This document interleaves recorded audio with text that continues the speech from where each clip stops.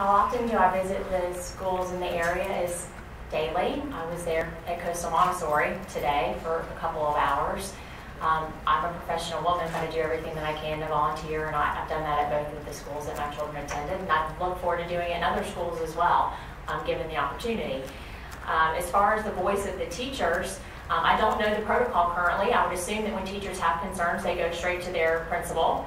And I would think that the teachers, if they don't get heard by the principal, should have an opportunity to go above the principal to an administrator.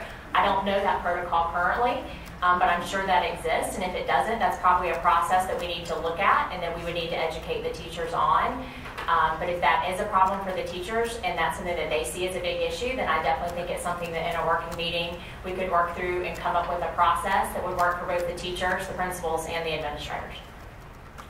I would think that there should be something already in place within the school district for teachers to actually go and, and talk to anyone if they have a problem with anyone. There should something be, already be something in place. But, but I guess myself, for me, if you're asking me what should happen, I would say that uh, they should be able to talk to anyone on this board, uh, anyone who sits on the board.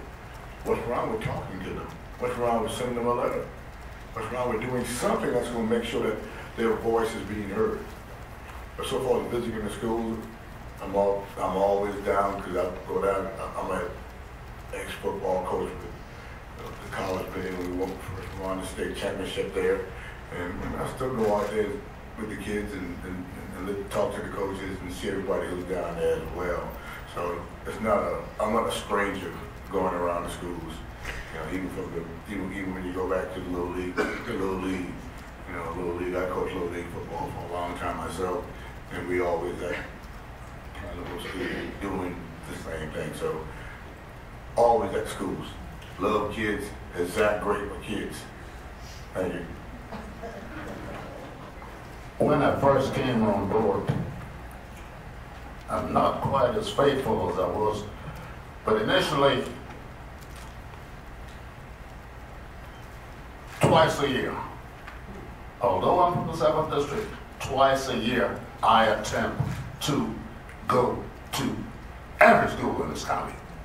So for those of you who might end up, think about that. Twice a year to every school. Some people even do better than that. And of course, uh, Browns is in the area, uh, so I can't count the times I go there uh, because I eat lunch there occasionally. Whoever has that good lunch will get that third and fourth visit. but there's a minimum twice a year. I it every year. Thank you. Teachers, teachers are in the trenches every day.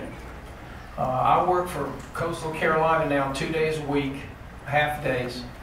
And we went out to Waccamaw Elementary School and Waccamaw Middle School. And I spoke to those students, they're freshmen, and I asked them, I said, Are you tired? And they said, Oh, yes. And we only stayed there till 12 o'clock, noon.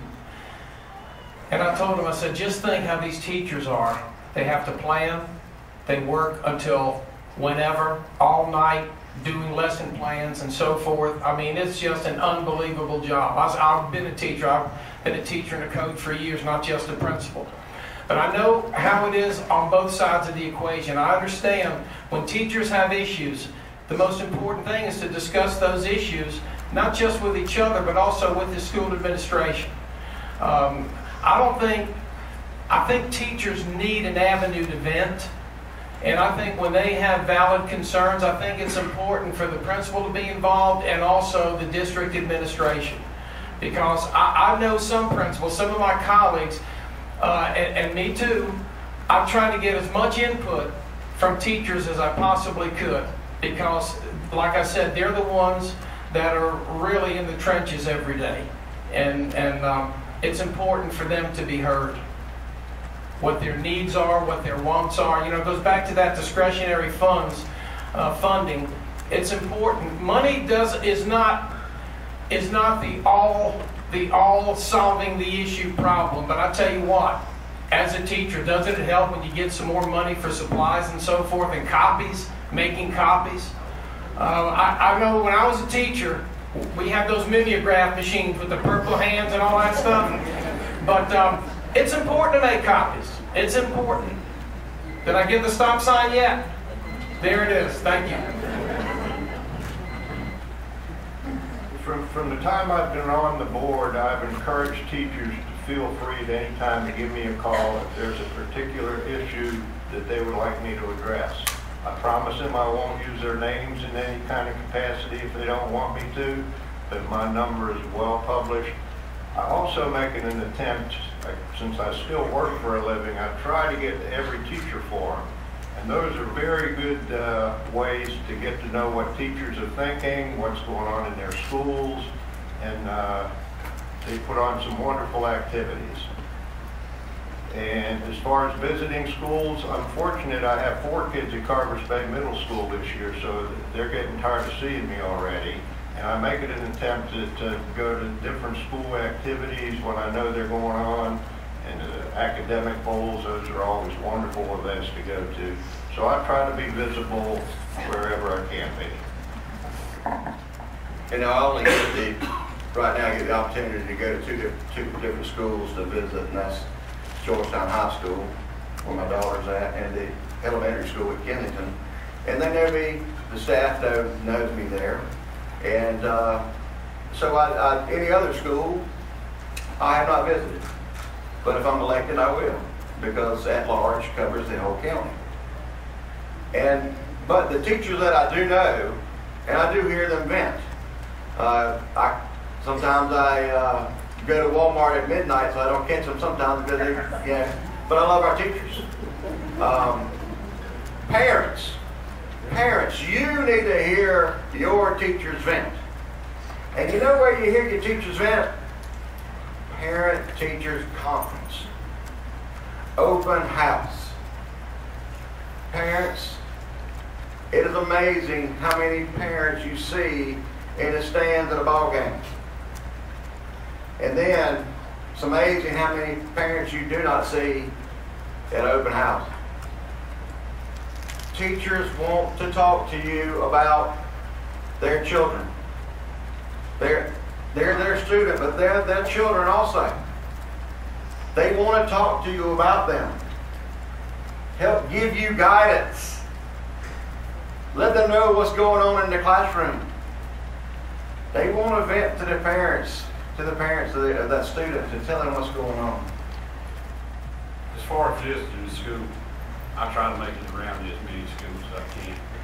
I do have a full-time job, but I take it about about one week vacation every year to take and go to the schools.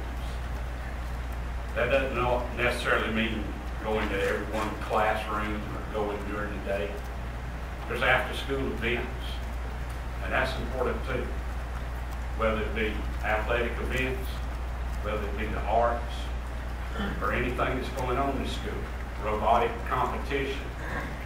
There's so many things out there that we attend from time to time that we see a lot of people. We are visible. We are visible in the schools. We are visible in the communities. Now, as far as the teachers and all, we all are on this district webpage. Our profiles, our pictures, our telephone numbers, our addresses, all. I wish more teachers would call me than telemarketers do. It'd be nice to have a, a, a voice that you can work with instead of somebody you're trying to get off the phone. But the teachers forum, I attended pretty much all the teachers forums. And I encourage our teachers, every meeting, I ask, talk to somebody. If you've got an issue, let us know. If you've got a concern, if you've got an idea you'd like to run across, talk to someone. We have a leader in that teachers forum that they can take and bring concerns to. We had these concerns put out in writing. They were answered, different things by the district and all. So there are tools and things to use out there. Take advantage of them. and District Two has probably more schools than any other district. We have ten. And I visit each one of the schools at least once a month. I um, go to the webpage and I pick a teacher I don't know. I kind of see, you know, what she's going to be teaching. And then I just go in and go to the class and sit there for 30, 45 minutes. So I go to all 10 schools every month. I have a planner. I've never had a planner in all of my life. Everything goes in the planner. My planner, I have someplace I could go in a school every day if I could work it in. They schedule Christmas parties, six on one night at the same time. So I try to attend the ones that are in my district. But all of us, the present board members, participate and we show up at everything. As far as the teacher complaints, I get teacher complaints all the time. I do, because I, re- I respond to them. I ran on communication in 2010, and I follow up, and you can ask the administration if I don't follow up. Teacher forum is represented of 10, of, of all the teachers of the year from each one of the schools, including the teacher of the year from last year. So it's a program every month. The teachers get together and bring their concerns. They are given to them, Dr. Dozier and the administration in writing. And when they leave, they have all of that answer in writing. I do encourage chain of command, and I do encourage the teacher-principal relationship, but if it can't happen, then I might just have to intercede.